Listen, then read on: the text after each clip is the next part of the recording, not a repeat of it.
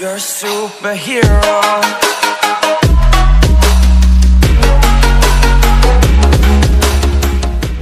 বিকাশ দিয়ে বিদ্যুৎ রিচার্জ করেছেন, কিন্তু টোকেন নাম্বার হারিয়ে ফেলেছেন অথবা টোকেন আসে নাই। দেখে নিন এক মিনিটেই তার সমাধান।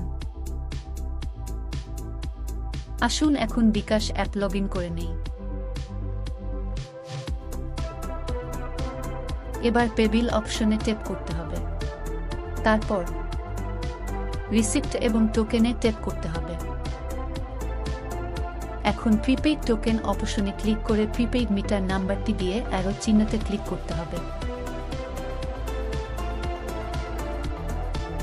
এই হচ্ছে বিকাশ দিয়ে রিচার্জ করা প্রিপেইড মিটারের শেষ তিনটি টোকেন নাম্বার আপনি চাইলে যে কোনো বিকাশ অ্যাপ থেকে প্রিপেইড মিটার নাম্বার দিয়ে এই নিয়ম অবলম্বন করে আপনার টোকেন নাম্বারটি জেনে নিতে পারেন।